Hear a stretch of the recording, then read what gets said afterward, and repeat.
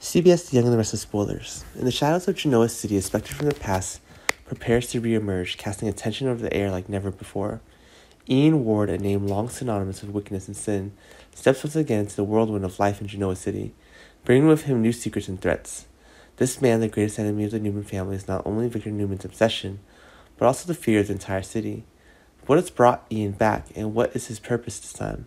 One of the greatest mysteries is the relationship between Ian Ward and Jordan, an emerging character with a vague past who seems to have a close connection with Ian. The relationship raises questions are they husband and wife, or simply allies in their schemes against the Newman dynasty? No one can be sure, but it's clear they have a plan, and Victor Newman is squarely in the crosshairs. Jordan and Claire, two enigmatic figures with unclear pasts and motives, also seem to be closely linked to Ian Ward, as if they were once members of the cult he led a cult that Mariah too was drawn into. Their story remains untold, and the secrets they hold forever could change the dynamics of Genoa City. Victor Newman, a titan in the business world and someone who never backs down from an enemy, realizes he's facing a new challenge. He knows that to protect his family and empire, he must uncover the true connection between Jordan and Ian Ward, and to do so, Victor needs to bring Ian into light.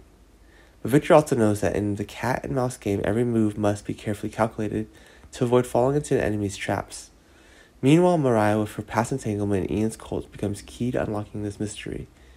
Reluctant to revisit painful memories, Mariah understands she can offer insights into Ian's operation and assist Victor in this battle.